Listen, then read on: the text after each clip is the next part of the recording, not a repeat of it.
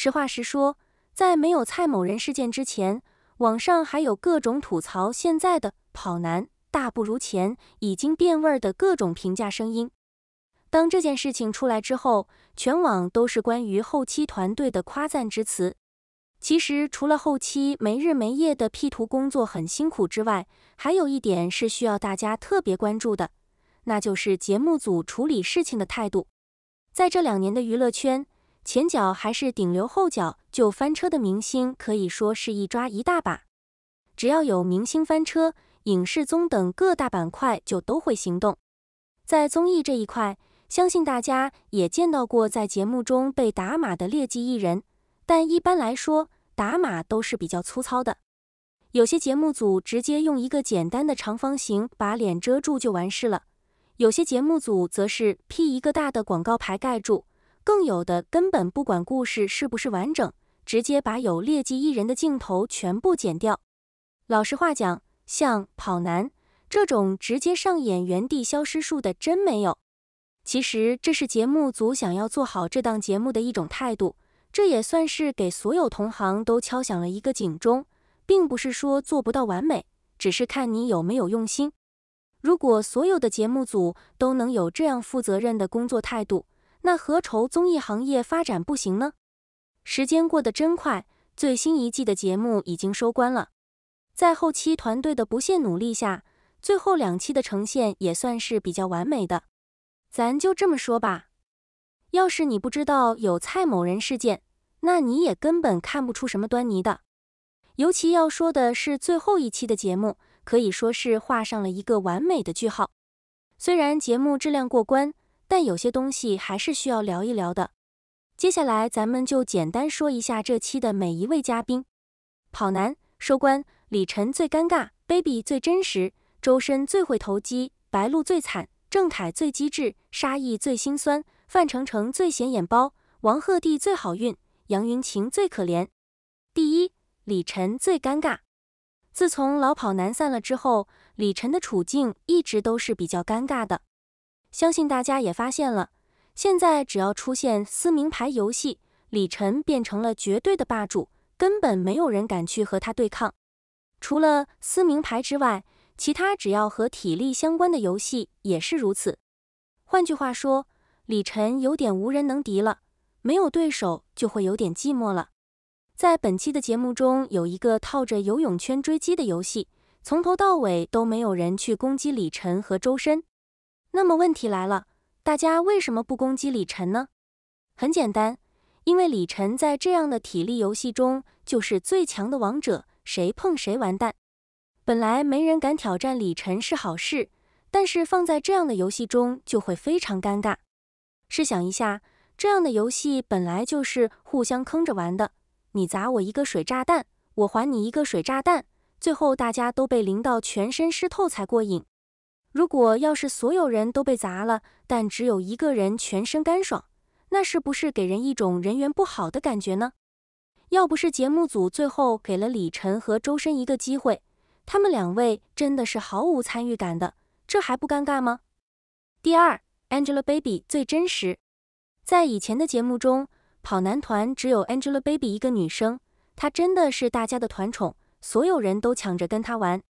现在呢，邓超、陈赫、鹿晗都不在了，郑恺结婚之后也开始避嫌了，沙溢、周深、范丞丞这些后来加入的人也不会刻意围着他转。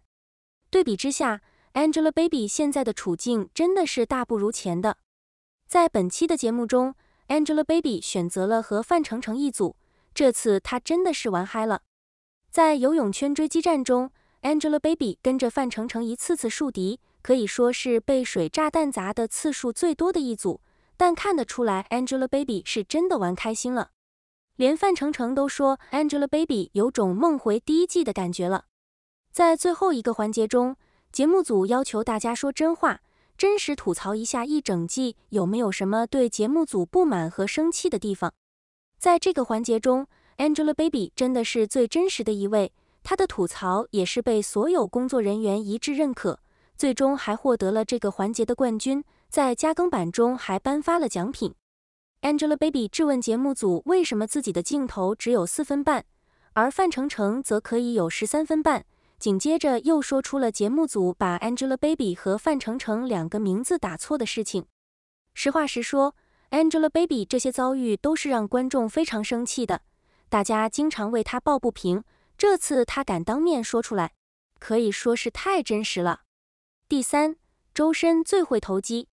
在吹蜡烛的游戏中，很多泰语发音是根本没法吹的，因为尾音是闭着嘴发出来的。不过，周深却找到了一个投机取巧的办法，那就是把前面的一个音拉长，比如 some 这个词，把 sa 拉长，直接吹灭了蜡烛。除了自己用投机取巧的办法挑战成功之外，周深还教 Angelababy 和李晨用投机取巧的办法成功吹灭了蜡烛。毫不夸张地说，周深真的是最会投机的人。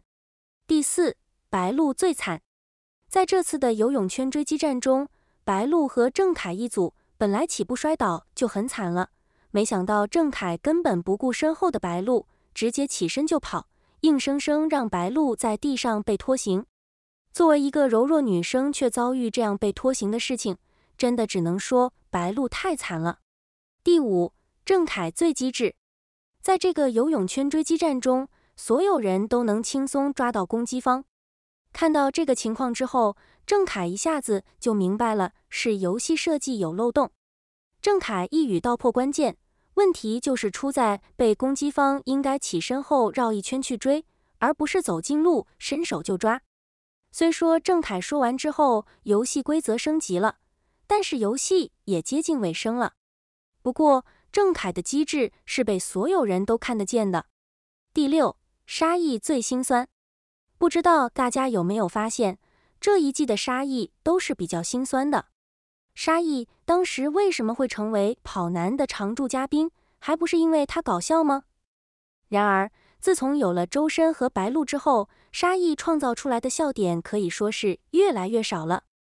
尤其是这一季又加上了一个范丞丞，沙溢真的是笑点全无，没有笑点输出，体力又是一个废物。